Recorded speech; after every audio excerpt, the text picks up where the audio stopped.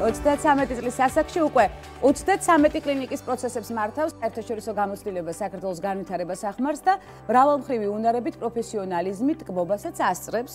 უყარს თავისი საქმე, პაციენტები და ჯანსაღი ცხოვრების წესის პროპაგანდა, ეს ძალიან მნიშვნელოვანია. სწორედ შერჩეული პროფესიული არჩევანის კვალდაკვალ ბევრ წარმატებას ვაწყდებით. ელენე ხურციძე ევექსი კლინიკების კლინიკური დირექტორი ნარატივით გვიზიარებს მოტივაციას და სასარგებლო ინფორმაციას. ელენე, მოგესალმებით, უღრმესი მადლობა მობრძანებისთვის. იმ არაჩვეულებრივ ჩვეულებრივი გამოცდილებისთვის, რომელიც მოგვიტანეთ, ძალიან ბევრ რამეს ასწრებს ნამდვილად პატარა ასაკისში. ამიტომ ესმევა ხაზი, რომ ძალიან ბევრი მიმართულება გაქვს შეთავსებული, მათ შორის ოჯახიც ის მთავარი საქმე, რომელზეც აუცილებლად გავამახვილებთ ყურადღებას და სამედიცინო სფეროს რომ უნდა დაკავშირებინეთ თქვენი კარიერა სამედიცინო სფეროსთვის.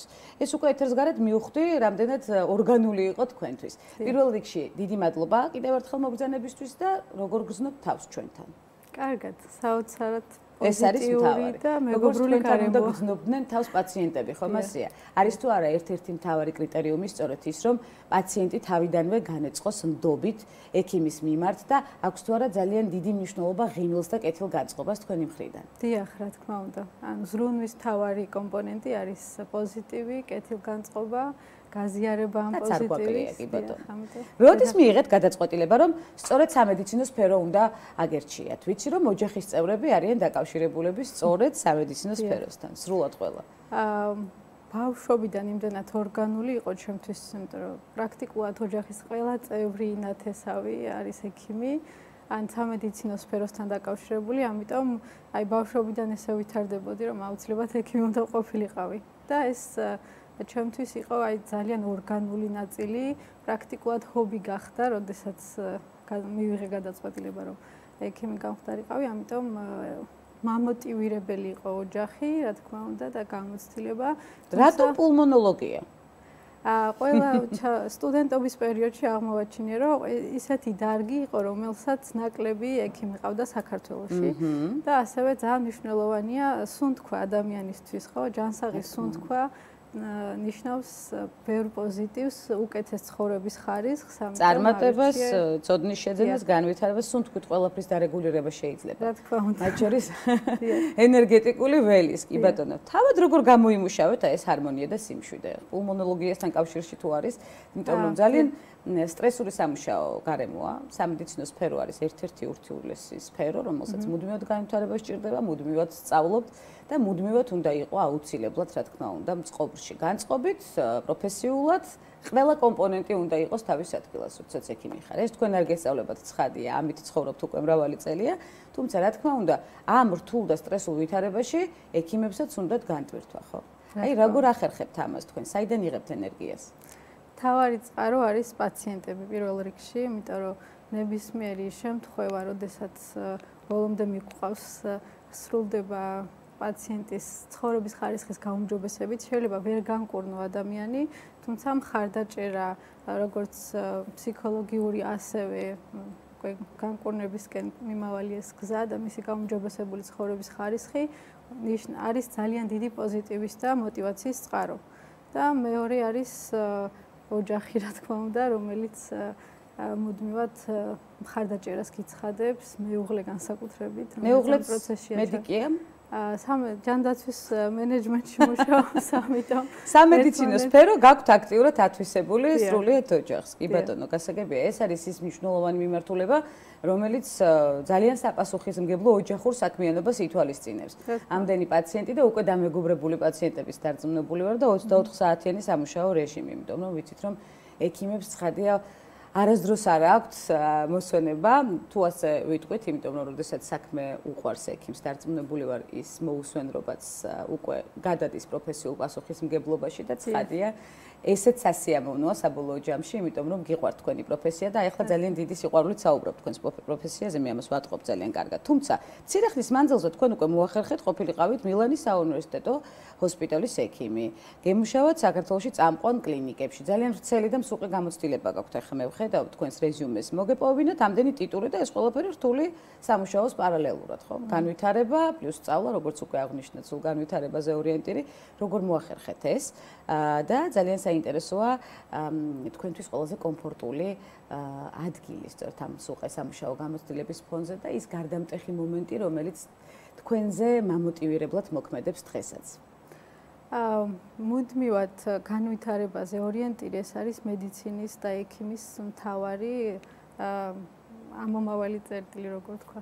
ამიტომ აი ექიმობა ნიშნავს რომ მუდმივად იყო ფორმაში. შესაბამისად ძალიან ბევრი შრომა ჭირდება, ნამდვილად უდიდეს შრომა უნდა ჩადო, მაგრამ ეს ყველაფერი კონკრეტულ შედეგამდე მიგიყვანს, წარმატების შედეგამდე, ამიტომ мотивация არის პროფესია, რომ განვითარდე მუდმივად. ისწავლო, ტრენინგზე იარო, სხვადასხვა ქვეყანაში გაიგზიარო გამოცდილება და შემდეგ მოუტანო ქართულ პაციენტს, რომელსაც არ აქვს წდომა ამ ყველაფერთან და მას დაეხმარო ცხოვრება გაიუმჯობესოს.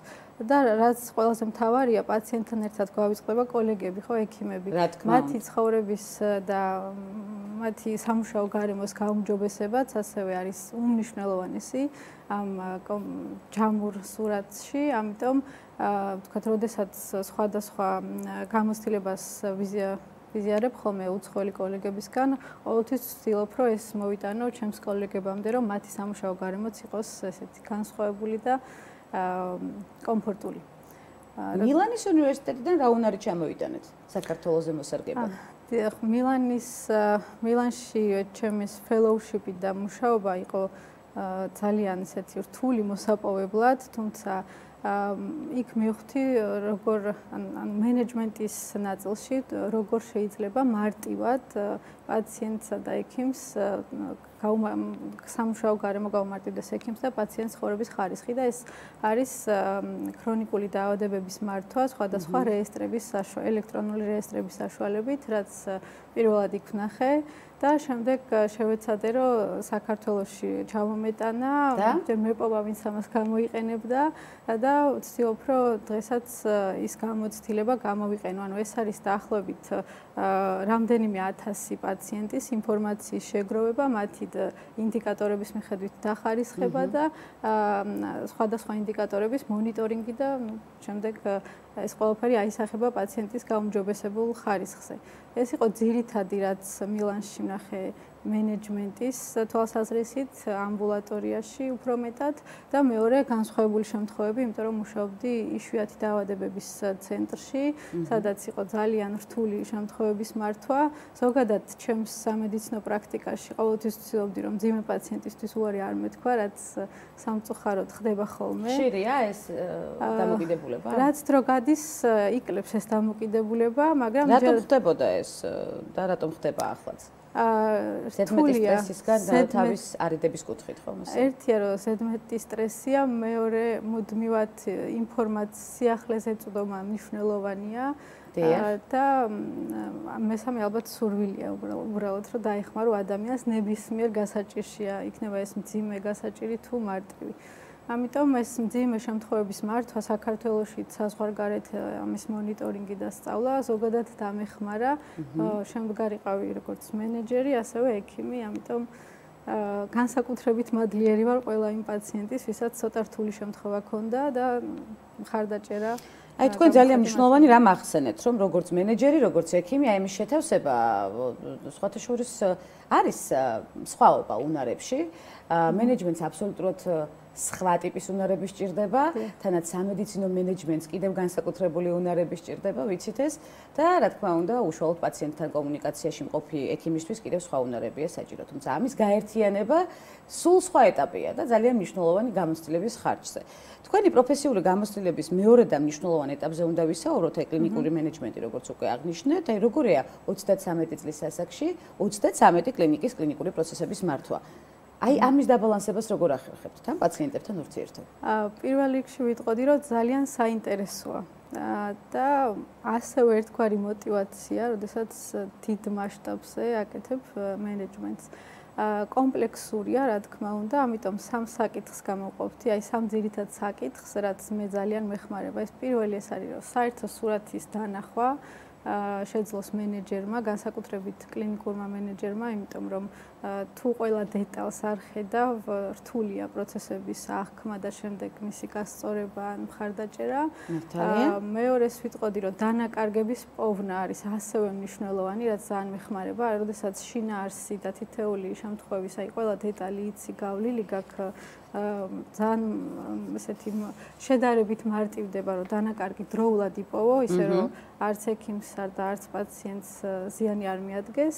და მესამე არის ზოგადად ხარისხის სიყვარული, იმიტომ რომ მედიცინაში ხარისხის გარეშე პრაქტიკულად არაფერი არ ხდება. ну ხარისხი რა თქმა უნდა გულისხმობს, რომ ეს ხარშთეფექტური იყოს, იყოს პაციენტის ცხოვრების ხარისხის გამოუმჯობესებელი და ასე შემდეგ. ამიტომ ხარისხის სიყვარული არის ერთ-ერთი მთავარი და მესამე კრიტერიუმი, რაც ძალიან მეხმარება ამ ყველაფრის დამენეჯმენტებაში. ჯამურად შეუერთდით.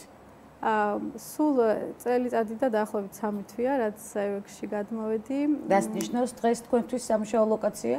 აა ძალიან კომფორტულია პირველ რიგში. აა ევექსის აქვს ესეთი პლუსი, რომ პირველი სიტყვა თქვას ინოვაციები განახორციელოს. ამან მიგიზიდათ ევექსისკენ? რა თქმა უნდა.